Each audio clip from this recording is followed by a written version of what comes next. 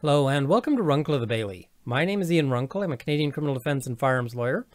Today I had a video already ready to go. It's on the case of the Queen and Nur, but I'm pushing that back so that I can talk about a news article that just landed while it's still fresh. So this is Environment Minister defends purchase of AR-10 rifles for conservation officers. And they note the federal list of banned firearms includes an exemption for peace officers. They say the Department of Environment intends to purchase 20 semi-automatic AR-10 rifles despite the inclusion of the weapons in a recently released ban introduced by the federal government.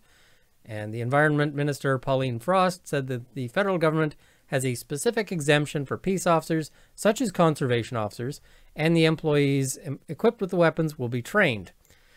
Now, when they say will be trained, I'm wondering, you know, many police officers get something like 50 rounds a year for training, which is less than most sort of license holders will spend on one range trip.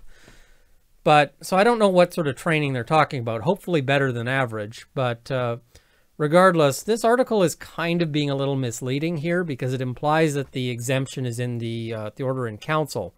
But what we're actually looking at is an exemption that's in the criminal code. Section 11707 uh, provides this is under the heading of uh, just pull it up here, exempted persons.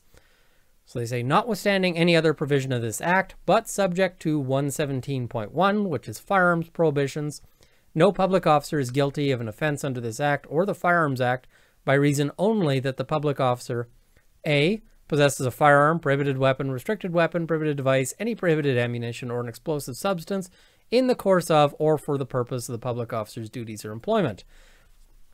This is an important section because most police officers do not hold a firearms license. And so, but for this section, they could also, they could be charged for, you know, going around town with their sidearm or with an AR-15 or whatever it is that they're equipped with. Now, there's other provisions here that allow them to do some other kind of funky things. You know, subsection D, exports or imports a component or part designed exclusively for use in the manufacture of or assembly into an automatic firearm in the course of a public officer's duties or employment. And E, in the course of the public officer's duties or employment, alters a firearm so that it is capable of, or manufactures or assembles any firearm with intent to produce a firearm that is capable of discharging projectiles in rapid succession during one pressure of the trigger. So, automatic firearms. And G, alters a serial number on a firearm in the course of the public officer's duties or employment. So there's a few reasons why these are there. Uh, number one is police acting as undercover officers. Because if you're in deep cover with a criminal organization and they say, hey, we've got a bunch of guns, but you know, you better scratch out the serial number, you don't want the officer going, hmm, well, wouldn't that be illegal? Because of course it's illegal, and that's not the sort of thing you bring up if you're undercover. Uh, the other thing is that sometimes they have RCMP technicians who might need to do things like test to see, can this be made automatic easily? They need to be able to do that and be exempted, so that's what that provision is there for. So these basically allow for a broad swath of things. Uh, public officers includes peace officers, it includes members of the military, it includes people training to be police officers, it includes a whole bunch of things. So that's sort of the exemption there. Now, when we think about the AR-10, uh, this was recently included in the ban that was sort of quite spectacularly introduced as a result of or in response to a shooting event. Now, why do they want these rifles? Well, what they're saying here is uh, they're saying that these rifles are necessary uh, to deal with human-wildlife conflict. Well, so what they're saying is they got to shoot animals with these. And they're being called hypocritical over this. So why are they being called hypocritical for saying we need some semi-automatic firearms for shooting animals, especially given that a lot of hunters are out there with semi-automatic firearms. And the reason for that is that Trudeau, in his infinite wisdom, has said this was when he was bringing in the ban. Uh, these weapons were designed for one purpose and one purpose only, to kill the largest number of people in the shortest amount of time. There is no use and no uh, place for such weapons in Canada. That's what Trudeau said about these sorts of issues or these sorts of firearms in implementing the ban. So, which is it? Are they you know, are these AR-10s only suitable for killing the largest number of people? In which case, maybe they should be saying, well, maybe you should be getting something designed for bears. Or is it maybe that Trudeau is full of crap when he says this? I kind of believe the, the conservation officers here because they indicate that they tested various rifles and reviews indicated the semi-automatic patrol rifle is easy to carry, which it is. They're lightweight, they're, they're a great rifle, uh, and provides a quick and effective shot placement. It's proven to be extremely quick and effective in both obtaining a sight picture and rapidly fire effective shots in high stress situations, such as engaging a charging grizzly bear at close range. So I want to be clear here.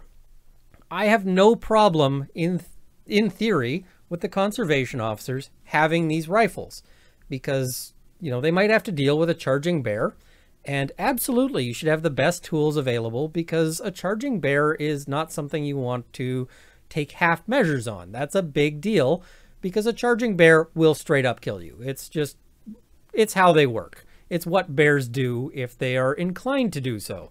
You know, most bears are peaceful. They're not inclined to do anything, but if they decide to kill you, they are more than able to do it. They've got the equipment. They've, you know, sharp pointy teeth and, you know, hand knives. So I've got no problem with the conservation officers having these rifles. The problem is, is when we've got our elected officials telling the public, listen, these things have no purpose but to kill people. And we see that that's clearly BS. Clearly these things have other purposes. And I note, here in Alberta, it is legal to hunt bears. So wouldn't a rifle that is good for bears be good for bears? That kind of seems like a tautology to me, that the good for bears rifle is good for hunting bears. So that seems like a legitimate use. It seems like Trudeau maybe doesn't know what he's talking about, maybe isn't being honest, perhaps. So I've got some issues with this, and again, they're not with the conservation officers, but I also have a, a bit of a modest proposal for how we fix the law here. And it goes like this. Let's set up one universal standard, which basically says, aside from undercover operations, because I can see a need for special rules for undercover operations, but just say in terms of ordinary police duties and in terms of ordinary conservation officer duties, their right to possess, use, and carry firearms uh, flows from their status as citizens. So eliminate all special provisions for uh, for the police.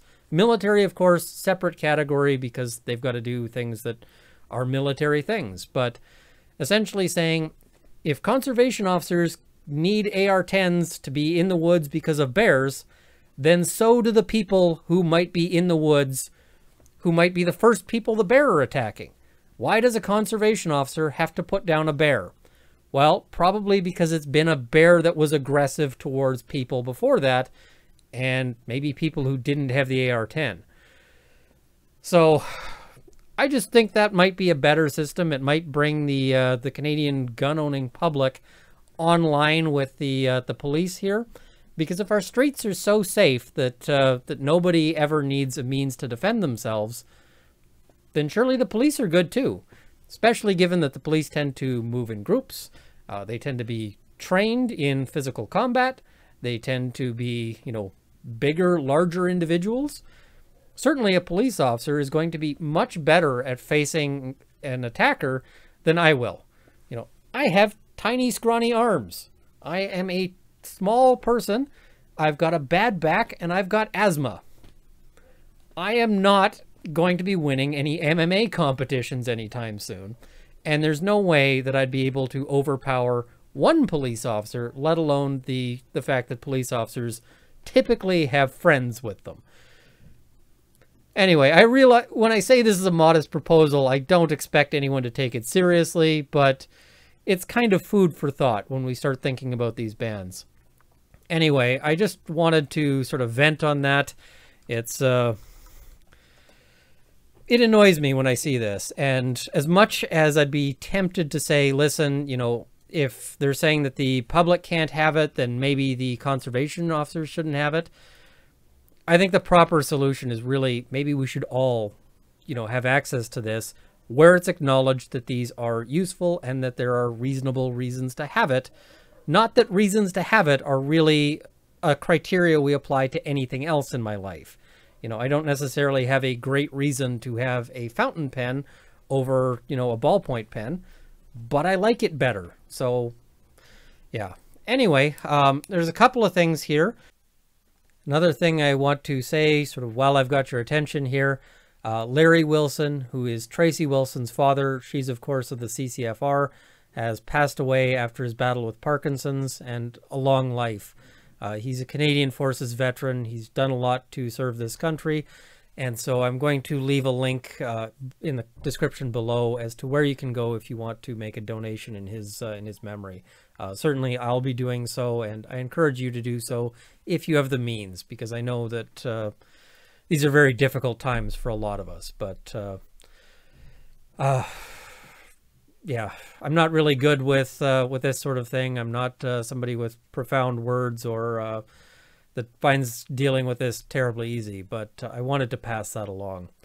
Uh, I also want to thank you for watching. Uh, give the a shout out to my Patreon supporters at the $10 level: my buddy Keith, Process Eng, Stephen Larson, Mark D, General Counsel of the CCFR. Uh, John Robinson, Tim Rogers, Roy Haddock, Freckles Dack, Jean-Alexandre Tessier, Cameron Johnson, Sir Goat, Sights and Arms Limited, Chaba Hollow, Peter H., Craig Kwan, Akin Coxall, North Central Process Service, Toys Are for Boys, Ian Vaughn, Milan Vrekic, Terrence Griffiths, Doug Thompson, Brad Crooker, Jason Harrington, Lee Kiso, Mark Stout, Michelle Stotzel, Scott Sweetman, Mike Rhodes, Alvaro Bataille, DF, Stacy Cartmel, Tactical Advantage TV Canada, Ian S., Dave Leslie, Juan, Donald Duncan, Stefan Conquest, Darren Duell, Sean Crane, Ian Hutchinson, Rory, Travis, BC Bushcraft Leather, John Sengarty, Misa Komarevich, and then at the $20 level, Kevin Fleet and Dale Nesbitt, $30, Steve Browning, and at the $50 level, George, Demo, and People of Canada. Once again, thank you for watching. I guess this is a bit rantier than I usually like to be. Um, I'll go back to law probably tomorrow, but uh, Thank you, and I hope I've armed you with knowledge.